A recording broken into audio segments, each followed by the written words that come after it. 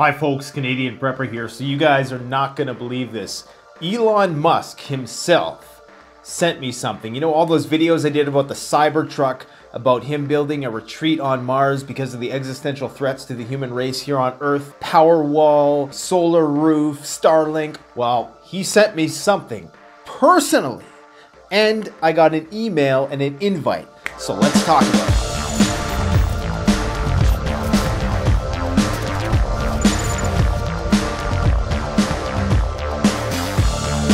I totally got you guys, didn't I? I know I got you guys. You guys seriously thought that the world's richest man, well, up until two weeks ago when the stock plummeted 20%, the world's second richest man, you seriously think he personally sent me a message and sent me stuff? Are you crazy? Think I'm that big of a deal? Not yet. So I know all you haters were having a panic attack. I know you were just what are we, what are we gonna do? He's, he finally made it. What are we gonna can't hate him anymore. No, you would find a reason to hate me, regardless. And it's okay. It's okay. Bring the hate. Let me be, absorb the, the dark energy for you. It, it feeds me. It makes me grow. You know, I'm like a plant. You know, I suck in all that nasty carbon dioxide or dioxide or whatever the hell it is, and I grow. I blossom because of it. So feel free to hate on me. Elon Musk didn't send me anything, but I did send his company 700 bucks to pick up this Starlink just so I could review it on the channel. Not because I need internet, not because I live in a remote region. Yeah, I do live in a small town of sorts, but that doesn't negate the fiber optic cables running to my house. It's super easy to set this thing up. It's almost ridiculous. So uh, we are connected, as you can see there. I'm not sure if you can see on there. And we're just gonna run the speed test. Just push this button. Let's see what sort of speeds we're pulling in here. Look at that. 140 megabytes per second from space. You realize how fast that is. That means you could literally download a movie in like five seconds. But do I want something like this when I'm way the hell off grid in the back country so I can still have an uplink to you people? Absolutely I do. The problem is, doesn't have that capability yet. Actually, let me correct myself. It has the capability, it just hasn't been unlocked yet. See, Tesla has this brilliant marketing scheme where they do these over-the-air updates. They do this with their vehicles. The vehicle is capable of doing way more than you initially get right out of the box, but in order to unlock these features, you gotta, you know, pay a little bit more. Good marketing scheme, the technology is amazing, so I ain't gonna complain. I wanted to review this for you people to let you know whether or not this is gonna be a good investment. And I can tell you right from the get-go, this is absolutely revolutionary, groundbreaking in almost every possible way. The ability to have the internet any place in the world, in the middle of the Pacific Ocean, if that's where it's dialed to. The only limitation, I'm gonna get into that, there's a big limitation, but this thing can do upload speeds of upwards of 150 megabytes per second. Per second, that's super fast. Now consider where we were before this. What did we have before this? We had those SOS beacons. You know, we had satellite phones, which cost an arm and a leg to make a one minute phone call. We went from that to having full-blown data, 150 megabytes per second. Do you realize the quantum leap in technology that has just occurred here? And it's baffling that there's not more media attention being paid to something like this. I mean, this is absolutely revolutionary. Is it going to allow the government to triangulate your coordinates in a dystopian post-apocalyptic future? Absolutely. But in that situation, unless you're a wild man in the woods, um, I don't think you're going to stand a hell of a chance to survive. You're going to have to fight back. This is still in the beta testing mode, and that means that it's going to be what they call geo-locked to a certain location. There's these cells I believe they're within a 100 to 200 mile radius. They're basically geo-locked right now to a, a, certain region of the planet. Whatever address you use on your account initially, that's the only address it's gonna work at. Now, some people say that they've had success in getting a connection 20 miles from that address. So that's what I'm gonna be testing out in this video. But I will say that the future is quite promising for this technology what you can imagine in the future is that you are going to be able to take this with you camping deep into the backcountry. And hopefully by that point in time, they make a scaled down, smaller version because this is going to be rather cumbersome unless you're in a vehicle. Now, if you're in an RV or something like that, then yeah, this definitely is going to work. But right now, in its beta testing mode, it's not going to work well for you. You're probably going to have to give it a year or so until they basically open it up uh, for that uh, functionality. As you know, SpaceX has been sending up Starlink satellites. I think they got about a thousand up there. I can't remember what the end goal is to have several thousand of these satellites, and that's going to drastically increase the speed of the internet connection that you have. And it's also going to allow you to use it in a mobile fashion. They're already talking about putting these on buses and you know airplanes, whatever the case might be, to uh, get internet communication in places where you're going to be out of cell range. It doesn't look like much. It looks like a paper mache satellite, but in all seriousness, this is a very durable unit. Uh, I've been, you know, hauling this thing around all over the place. It's got a three-axis motor, so it can tilt, it can turn, it can pan, and it's just really tough. It's got a, a heated surface, so if snow hits it, you know, it'll melt. It's totally waterproof. And I haven't been being nice to the thing at all. Now, they don't provide you with a whole lot of mounting options outside the box. You have to, of course, buy those. It's a whole uh, Apple networked externalities business model where they get you in with one thing and you got to buy 50 other things. And I also don't like that the fact that this cord is hardwired to the satellite. So you can't remove this cord and it's like 150 feet long or something crazy like that. So anywhere you move this thing, you got to haul the cord around. That's a very, very fast connection. Now it does draw some power, so you are gonna need a power source. Right now I have it running off of my Zendure portable power bank, but it only takes, I think, maximum peak about 150 watts. So even if you have, you know, like 150 watt uh, inverter, that's gonna be more than enough to satisfy the needs of this thing. A lot of that is gonna be used in keeping the dish warm so that it can melt snow. So if it detects, I'm not sure if it has some kind of detection technology, but the dish will get warm so that the snow melts. And of course, the size is gonna be a bit of a factor if you are wanting to use this on the road. Now, let's get something clear right from the get-go. Tesla, AKA Starlink, hasn't allowed us to roam with this thing yet. And right now it's what they call geo-locked, to a certain location. Basically, the address that you form your subscription to, you basically sign up for a subscription. They give you a certain range within your address. Some people speculate it's 20 miles, it's 100 miles. I've seen a map on the internet which shows what they call these geocells, okay? And apparently you can use the dish anywhere within the geocell that you're allocated. And from what I've seen, these geocells are pretty sizable. I'm talking like a couple hundred miles in diameter, possibly, even bigger than that. So I'm thinking, depending where you fall in the geocell, now I was able to get uh, intermittent connections out to 50 kilometers.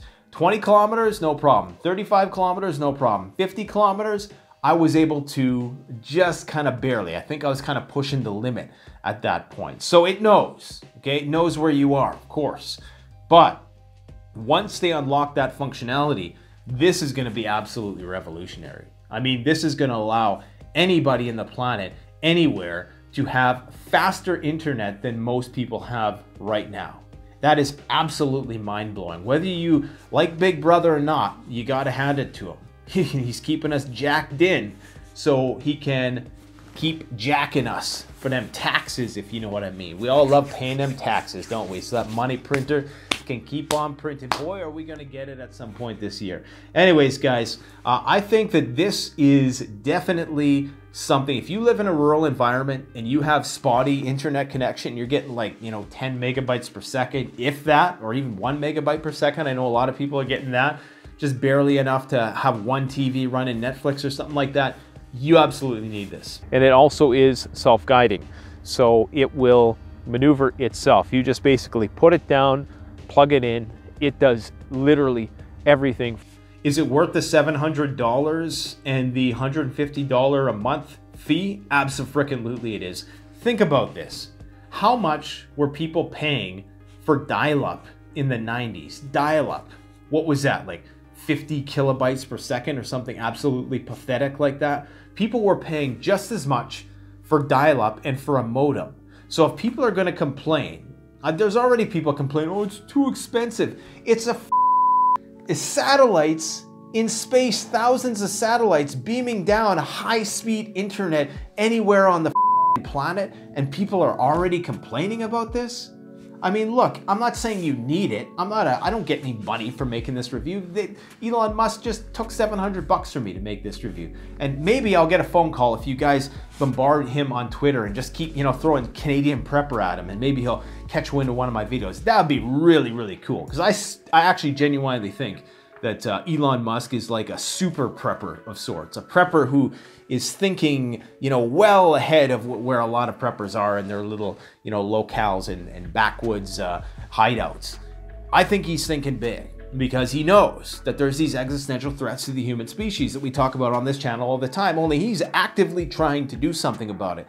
I think that this absolutely is an order of magnitude better. This is technological deflation at its finest. If you don't know what that is, basically that is where the there's an exponential growth in technology. It's like how, you know, in the 1950s, a computer which was one one thousandth the power of your cell phone took up an entire gymnasium, if that, okay? And now all that computing power fits in your pocket and costs a mere fraction of the price. And that is absolutely incredible. Eventually, the price is going to come down. Eventually, the size of this is going to come down. And eventually, you will be able to roam with this. There might be a fee, you know, to get for all you off-gridders, RVers, people who have no other option but to live in your vans and make YouTube videos about it. Anyways, all I'm saying is, is that eventually this technology is going to be good. If you're a nomad,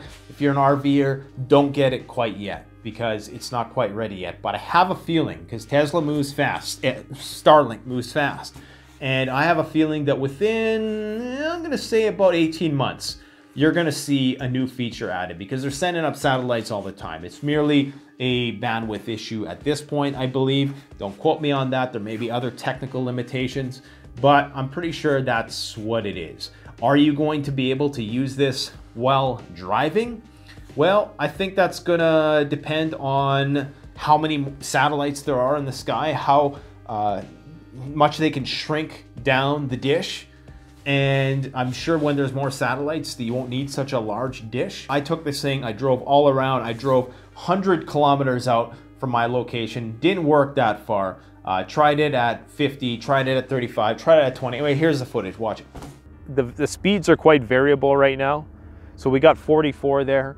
So, you know, depending on where the satellites are, the time of day, the weather conditions, things of that nature, that's going to determine what your internet connection is like. Right now, I just have it on top of my truck, so I have a very clear view of the sky.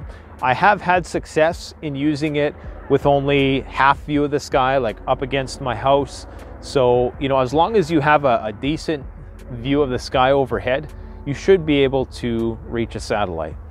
So we're 20 kilometers from the address that this Starlink is geolocked to. And just to prove it, you can see I'm in the middle of nowhere. So, happily say that we got ourselves a signal and we got 86 megabytes per second. Now let's run another speed test. Whoa. Was it me or did that thing shoot up to 250? Look at that, 140 130 megabytes, 120 megabytes per second, folks. 20 kilometers from where it's geolocked. So we got to venture forth. All right, guys, so we are actually technically 34 kilometers out right now. I misjudged uh, the last place I was at. I thought it was a lot further than I was. I wasn't, so we're at 34 kilometers. So we are still getting a Starlink connected reading and uh, we're just going to run a speed test here for you 24 megabytes per second so not that bad. We're going to go uh, try up the road another 16 kilometers or so see what we can find. All right guys so i'm out here exactly 50 kilometers from the designated address for this Starlink receiver, and uh, I've gotten a signal, but I lost the signal. So it's going to be a little spotty. I think the further you drift from the designated address. But regardless, I was still clocking 20 megabytes per second when I did connect. So I have a feeling that this thing is going to connect eventually again, but right now it's disconnected. So either way, at least in the direction that I traveled, I got 50 kilometers, sort of. Depending on where you fall within the geocell, I mean, you may be smack dab in the middle of it, or you may be right on the edge of it. So I'm guessing that the direction you travel from the designated address is going to factor in somehow. So if I'm like right on the edge of the geo cell and I travel, you know, two kilometers outside that geo cell in that direction, then obviously it's not going to work. But I could potentially travel 100 kilometers in the opposite direction and it still works. So who knows? Right now, though, not getting a signal. So as you can see there, no connection.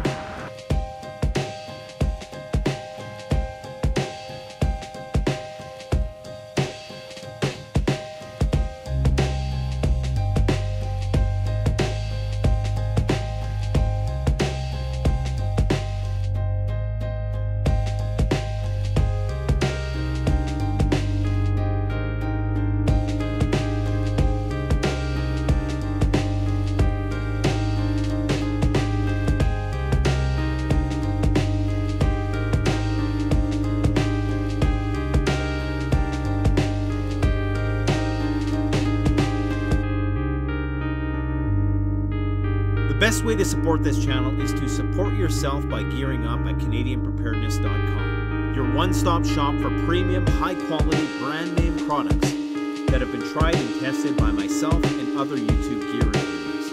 My subscribers save 10% off by using the coupon code Survival Prep.